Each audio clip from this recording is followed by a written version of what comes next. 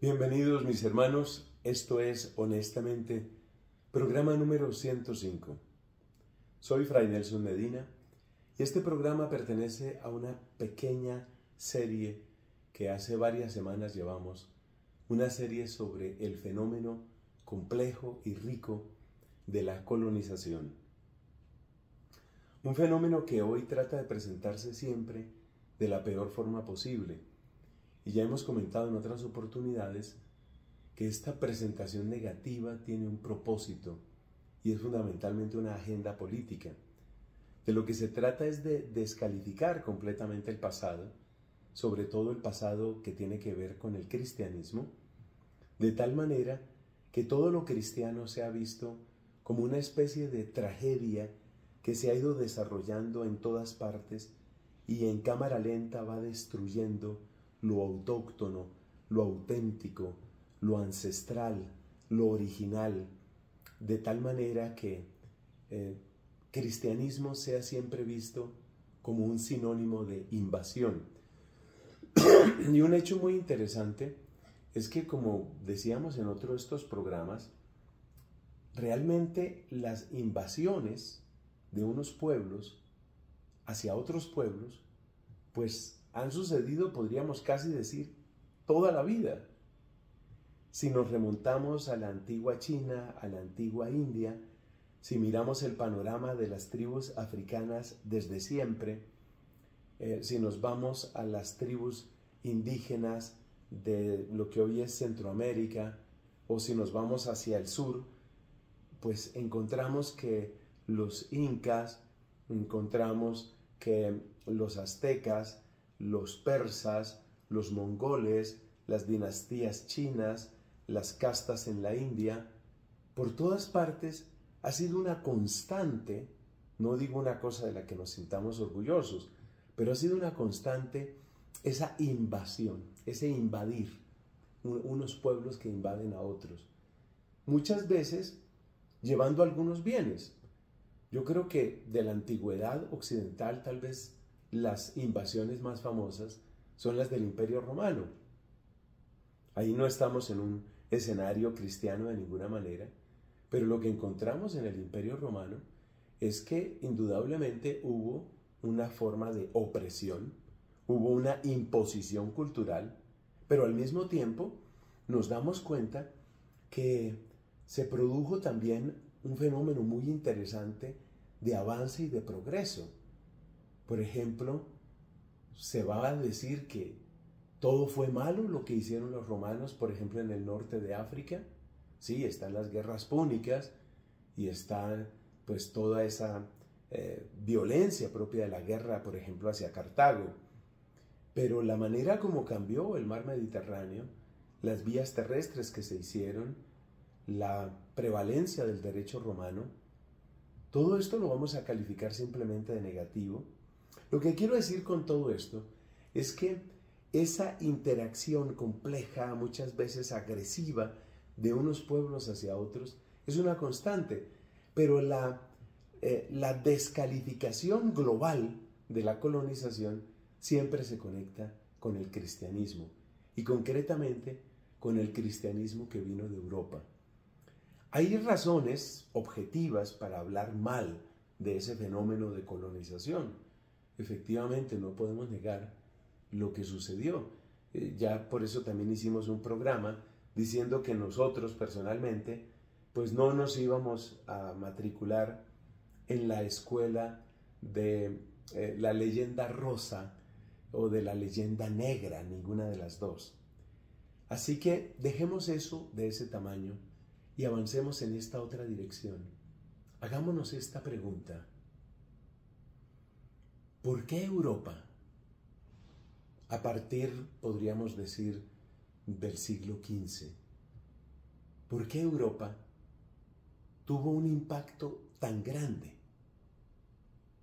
en términos de colonización? ¿Por qué?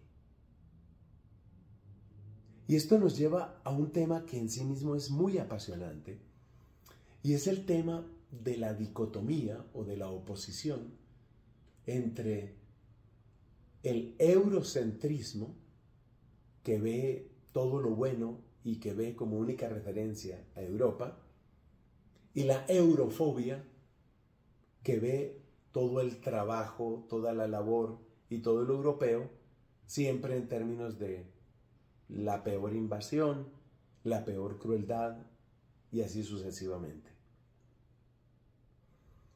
Personalmente creo que de nuevo estamos ante una falsa oposición. Hay autores bien reconocidos en la historia de la cultura que fueron descaradamente arrogantes y absolutamente eurocéntricos.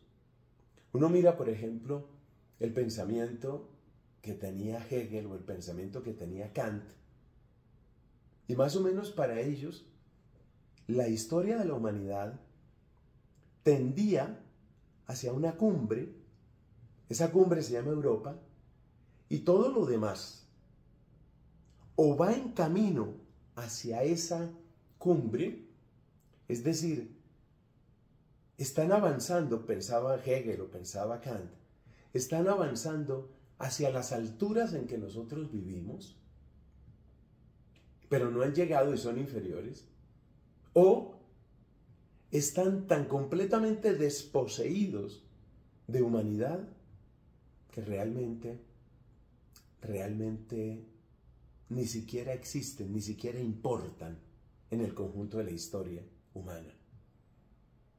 Esa es la, ese es el eurocentrismo arrogante que hizo odioso lo europeo de muchas maneras. O piense usted, por ejemplo, todo el avance del imperio británico, especialmente en el siglo XIX. Uno mira el mapa Decíamos en otro de estos programas sobre la colonización que en un momento dado el 25% de la tierra habitable del mundo era parte del imperio romano. Y usted va hoy todavía al Palacio de Buckingham, allá en Londres, y frente al palacio hay una especie de pequeña explanada circular que está flanqueada por unas enormes columnas y esas columnas tienen los nombres de los distintos puntos donde el imperio había florecido en ese momento. Australia, Sudáfrica, Canadá.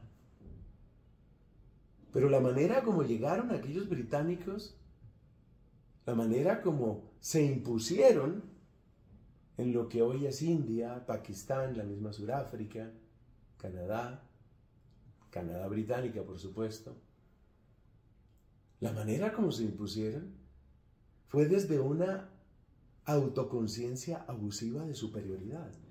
Como quien dice, ustedes son inferiores y ustedes únicamente existen en función de nuestros intereses.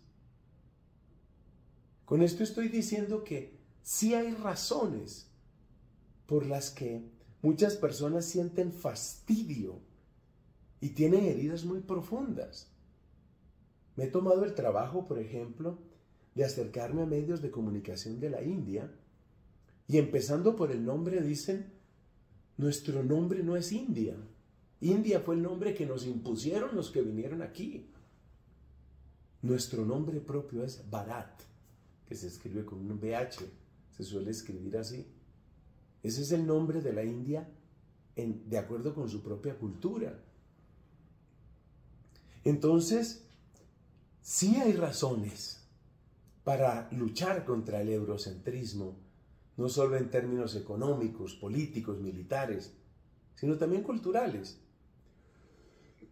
Un autor que trabajé desde el punto de vista teológico en mi tesis de doctorado fue el jesuita Bernardo Lonergan. Y Lonergan, durante una gran parte de su vida, luchó contra esa visión que coloca como a una única cultura en lo alto y como referencia de todo lo demás. En el lenguaje de Lonergan, eso se llama clasicismo. Entonces se toma lo clásico, se exalta, se considera que esa es la única manera ese es el estándar dorado para todos los demás y para todo lo demás. Esa manera de pensar, claro que, que fastidia. Pero luego tenemos la eurofobia, que pretende mirar y pretende justificar toda la tradición europea, el ataque a toda tradición europea, justificarlo. Y, y esa eurofobia está muy viva hoy, pero mucho. No solo desde un punto de vista teórico, que tal vez es el menos público o el menos explícito hoy. Gente que hable continuamente en contra de Europa, eso no es lo más frecuente. Pero lo que sí es frecuente, y bastante frecuente, es que uno se encuentre con una política migratoria que en el fondo supone la erosión de todo lo europeo y un reemplazo demográfico que está alimentado por las mafias de la migración. Y, este es un tema muy complejo, el tema de la migración es un tema muy complejo. En algunos países, como puede ser incluso mi querida Colombia, nosotros hemos visto lo que significa que llegue una oleada de personas. La población de Colombia debe estar rondando los 50 millones, un poco menos. No tengo datos exactos. Pero bastante más de un millón de hermanos nuestros venezolanos han venido aquí. Y es complejo, es bien complejo. Muchos de esos hermanos venezolanos en situaciones de absoluta privación, de absoluta necesidad. Y el gobierno colombiano, particularmente el gobierno del presidente anterior, Iván Duque, tomó medidas para facilitar la legalización de estos venezolanos, que no fueran tratados simplemente como ilegales. Es un acto humanitario. Y uno no puede negar el drama humanitario que se vive en las costas del Mediterráneo no se puede negar. Pero por favor que tampoco se niegue el tema de la invasión cultural y de la invasión demográfica, porque de lo que se trata es básicamente de reemplazar la población europea. Lo están consiguiendo. O sea que la eurofobia, más que un programa de ideas, es una especie de sentimiento sordo de antipatía al pasado europeo, particularmente al pasado cristiano, y al mismo tiempo una estrategia de eliminación, o mejor, de reemplazo de la población. Eso lo estamos viendo, por ejemplo, ahora con el tema del el conflicto entre Israel y Palestina. Yo no tengo dudas de las crueldades que han causado tanto los israelíes como los palestinos. Pero qué pronto que se olvidó en la mayor parte de la opinión pública la masacre que aquellos guerrilleros palestinos causaron en Israel, incluyendo mujeres y niños, incluyendo secuestro de centenares de personas. Eso se olvida. Eso se olvidó muy pronto para simplemente machacarnos continuamente los abusos, las crueldades de los israelíes en sus bombardeos y demás estrategias contra los palestinos. Entonces ahí nota uno que hay una tendencia, eh, llamémoslo así, ideológica, que clara, clarísimamente, va en contra, radicalmente en contra de del pasado europeo y concretamente el pasado cristiano. Las manifestaciones pro-Palestina en grandes capitales europeas, en Londres, en Berlín, en París, las manifestaciones son continuas. Y es que no falta gente para llenar las plazas en esas protestas, no falta gente. Porque es que adivina qué religión y qué cultura tienen los recién llegados a Europa en este momento. si tú estás llenando Europa de musulmanes, si estás llenando Europa de gente, de, pueblos enteros que tienen esa religión y que tienen esa cultura, pues adivina a favor de quién se van a poner en un conflicto como este y adivina a qué tipo de marcha o manifestación se van a unir. Entonces es claro que existen las dos tendencias, un eurocentrismo que fue mucho más fuerte hace décadas, que fue espantosamente arrogante en el siglo XIX, y una eurofobia soterrada, pero muy real, que existe hoy. ¿Y a qué se oponen? Con esto deseo terminar. Pues se oponen a lo que mostraba como esencia del alma europea el Papa Benedicto XVI. En su presentación sobre lo que, lo que es la novedad y la originalidad de Europa, el Papa Benedicto claramente nos hablaba sobre esa especie de trenza que se da entre la filosofía griega, el derecho y la capacidad administrativa romana y la fe cristiana con toda su raíz hebrea, judía. El lugar del mundo que acogió ese esplendor de la filosofía griega esa destreza y talento de los romanos y ese impulso que es al mismo tiempo natural y sobrenatural del cristianismo, el lugar donde eso sucedió primero es Europa. Ese es el gran tesoro de Europa. Esa es la gran riqueza de Europa. Y, yo recuerdo de mis estudios de pregrado, yo recuerdo uno de los autores que estudiamos en aquel tiempo, el filósofo español de origen vasco Javier Subiri. Javier Subiri tiene un escrito bien interesante donde muestra esta continuidad cultural. El escrito lleva por título Los griegos somos nosotros. Es decir, cómo esa conjunción entre razón, fe y técnica o sentido práctico, tú analiza lo que es eso. Tú analiza dónde se puede llegar con eso. Fe que te da una cosmovisión para el tiempo y la eternidad.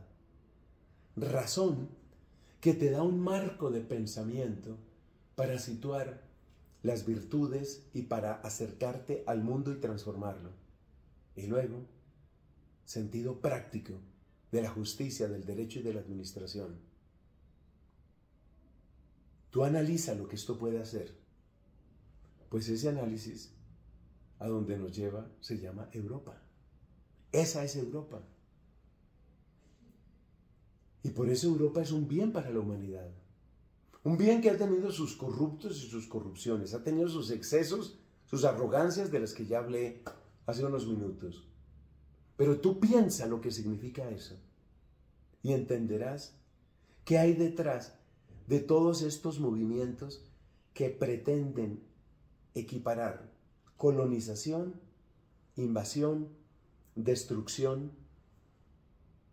Analízalo. Analízalo en tu mente y en tu corazón. Jamás justificaremos los abusos de ninguna naturaleza pero tampoco vamos a ser ingenuos frente a estos movimientos de anticolonialismo que se van regando por todas partes. Muchas gracias por estar aquí. Soy Fray Nelson Medina.